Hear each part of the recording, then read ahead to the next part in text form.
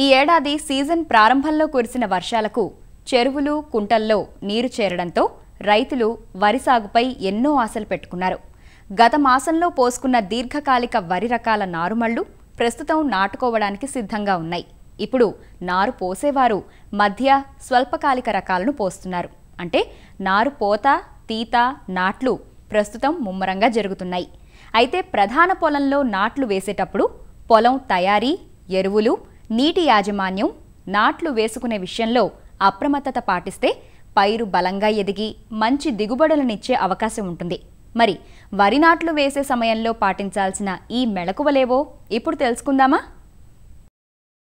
వరి పైరు ఆరోగ్యంగా ఎదగాలంటే రసాయన ఎరువులతో పాటు సేంద్రియ ఎరువులను వాడి పోషక పదార్థాలను సమతుల్యంగా అందజేయాలి. వరి నాటు వేసే ముందు ప్రధాన పొలంలో చివరి దమ్ములో ఆరు నుంచి పది టన్నుల పశువుల ఎరువు వేయాలి. వరి పైరుకు ఎకరాకు ముప్పై రెండు కిలోల నత్రజని ఇరవై నాలుగు కిలోల భాస్వరం పదహారు నుంచి ఇరవై కిలోల పొటాష్నిచ్చే ఎరువులు అవసరమవుతాయి. వీటిలో మూడో వంతు నత్రజని ఎరువును మొత్తం భాస్వరం ఎరువును సగం పొటాష్ ఎరువును దమ్ములోనే వేయాలి. ఇలా చేయటం వల్ల మొదటి దశలో కావలసిన పోషకాలన్నీ మొక్కలకు అందుతాయి. పశువుల ఎరువు అందించలేని పక్షంలో పచ్చిరొట్ట పైర్లు వేసి పడదున్నటం వల్ల కూడా మంచి ఫలితాలను సాధించవచ్చు. పచ్చిరొట్ట ఎరువులను వాడటం వల్ల ఇరవై ఐదు శాతం రసాయన ఎరువులను ఆదా చేసుకోవచ్చు. పొలాన్ని రెండు నుంచి మూడు దఫాలుగా దమ్ము చేయాలి. పొలమంతా సమానంగా దమ్ము చెక్కతో కానీ అడ్డతో కానీ చదును చేయాలి. ఆరోగ్యవంతమైన నారు మొక్కలను నాటేందుకు ఎంపిక చేసుకోవాలి. నారు మొక్కలు లేత ఆకుపచ్చ రంగులో ఉండాలి. నాలుగు నుంచి ఆరు ఆకులు కలిగిన దాదాపు ఇరవై ఐదు రోజుల వయసున్న చీడపీడలు లేని నారును ఎన్నుకోవాలి. నారు పీకిన ఇరవై నాలుగు గంటల లోపు ప్రధాన పొలంలో నాటుకోవాలి.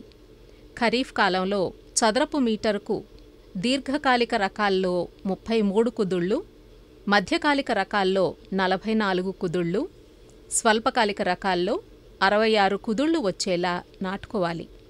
ప్రతి కుదురుకు రెండు నుంచి మూడు మొక్కలు నాటాలి.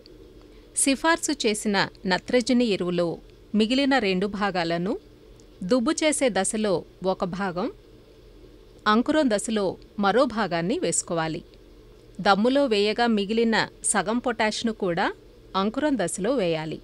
మొదటి దఫా నత్రజని వేసేటప్పుడు యాభై కిలోల యూరియాకు పది కిలోల చొప్పున వేపపిండిని కలిపి వేయటం వల్ల నత్రజని వినియోగం పెరుగుతుంది. పైపాటుగా కాంప్లెక్స్ ఎరువులను వేయకూడదు. సకాలంలో నీరు రాని పరిస్థితుల్లో ముదురు నాటు నాటుకోవాల్సి వస్తుంది. అలాంటప్పుడు కుదుళ్ళ సంఖ్యను పెంచి కుదురుకు నాలుగైదు మొక్కల చొప్పున నాటుకోవాలి.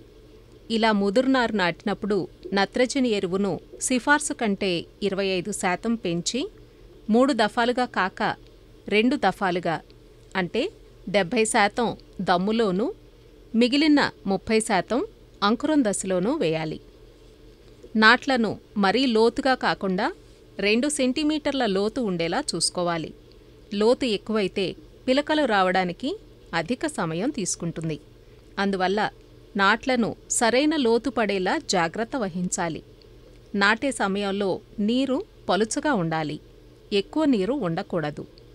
నాటిన మూడు నుంచి ఐదు రోజుల మధ్య కలుపు నివారణ కోసం ప్రెటిలాక్లోర్ నాలుగు వందల మిల్లీలీటర్లు కానీ ఆక్సాడయార్జిల్ నలభై గ్రాములు కానీ అర లీటర్ నీటిలో కలిపి దాన్ని ఇరవై ఐదు కిలోల పొడి ఇసుకలో కలిపి పొలమంతా సమానంగా చల్లుకోవాలి. పొలంలో కాలిబాటలు తీసుకోవాలి. ఇందుకోసం తూర్పు నుంచి పడమర దిశగా ప్రతి రెండు మీటర్ల ఊడ్పులకు ఇరవై సెంటీమీటర్ల వెడల్పు గల కాలిబాటలను తీసుకోవాలి. కాలిబాటల వల్ల మొక్కలకు గాలి వెలుతురు ప్రసరణ బాగుంటుంది. ఎరువులు వేయడానికి అనువుగా ఉంటుంది. పైరు చీడపీడలు ఆశించకుండా ఆరోగ్యంగా ఎదుగుతుంది. ఇలాంటి అన్ని పద్ధతులను నాటు సమయంలో పాటిస్తే అధిక దిగుబడులు పొందే అవకాశం ఉంటుంది.